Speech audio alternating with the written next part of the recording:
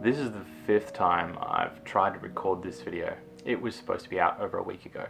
But every time I just couldn't do it. The script was off, the storytelling sucked, and I was just blabbing at the camera. But more importantly, like, something just felt off. My plan was to do a video on authenticity, what it is, how you can develop it, you know, why it's important. Yet I just had this visceral feeling that something was wrong. Ironically, it was exactly what I was about to warn against. I was being inauthentic. You see, the words on the page weren't mine. They were the thoughts and the ideas of someone else. I couldn't really say I'd solved the problem yet. And this is why I think you should watch this video. If you're feeling an overwhelming sense of unease, if you struggle each day just to get going with what you should do, if you have a sense that something's just a bit off, missing some meaning, then I think this video might be for you. So let's rewind a few years. I really lament the fact that for much of my 20s, I made many important decisions for reasons other than my own. The outcome of which left me feeling rather shallow, alone, and without a sense of meaning.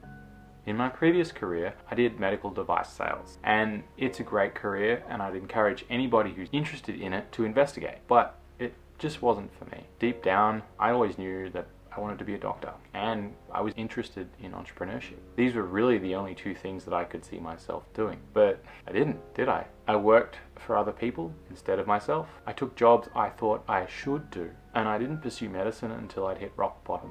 yeah, I'd love that job, I'd say. But deep down, I knew I didn't give a shit. And you know what the outcome was?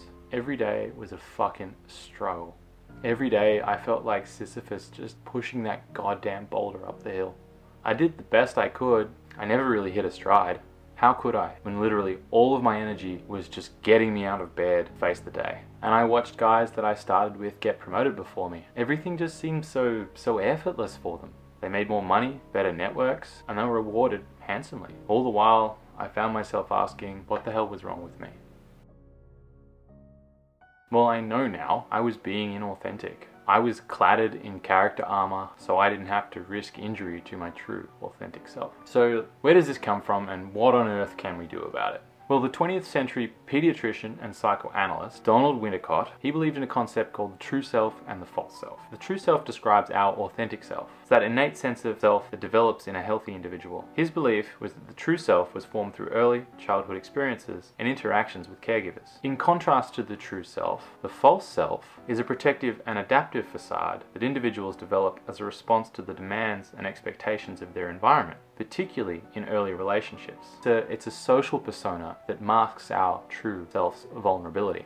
And whilst it might be necessary for survival, it certainly hinders self-expression. Another great thinker of the 20th century, Martin Heidegger, he suggested that most people adopt character armor by the way of becoming das Man. Literally speaking, das Man translates to the they or the one, and it refers to the anonymous, everyday conformist and collective mode of existence that characterizes most people's lives in modern society. Essentially, das Man represents the societal norms, values, and expectations that individuals conform to without critical examination. Thus, when we adopt character armor, we exist inauthentically as the fallen, essentially characterized by a preoccupation with what others think and expect of us. Ultimately, this confirmation will lead to a sense of alienation and disconnection from one's true self.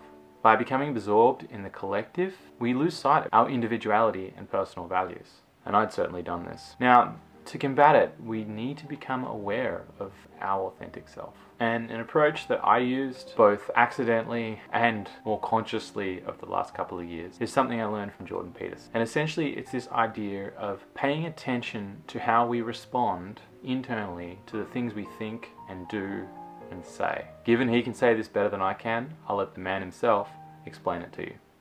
My sense has been that you can tell when you're saying something that's not authentic by feeling out whether or not it makes you weak or strong. Watch for two weeks and see. Make a rule that if you start to say something and it makes you feel weak, it's like I've just stepped off the solid ground and onto something that, that doesn't support me well, and it, it feels like a self betrayal. So that's existential inauthenticity. You can feel it right away. And then the rule is shut up if that happens. Stop talking.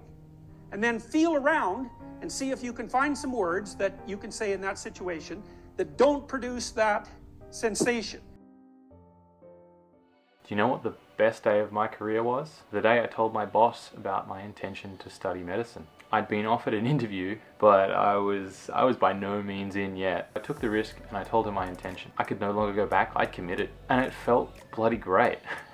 For the first time, I'd been really honest. And in that moment, I decided that regardless of the outcome, I would only pursue things that resonated with me my own values, my sense of being. And I would stop making decisions for other people's reasons on what I should do. Now, I'm by no means perfect, and I've failed so many times at this since. But in each domain of life, it gets that little bit easier. And it's like, it's fucking scary because in choosing to live authentically, we open up our innate self, the kernel of what makes us us. We open that up to criticism. It becomes vulnerable, but at the same time, it's so remarkably freeing. Suddenly, your brain power is available to work on the things that are intrinsically rewarding to you. I don't struggle to get out of bed anymore. I don't struggle to motivate myself like I used to. And I perform so much better. All because what I do now aligns with what I value and I don't hide that from others. What do you think? Does this fit with your experience? Let me know in the comments. If you enjoyed this, please consider sending it on to someone who you think might enjoy it. I'd love it if you would like and subscribe. We are just a small channel for now, but we grow one click at a time. So thank you. Peace.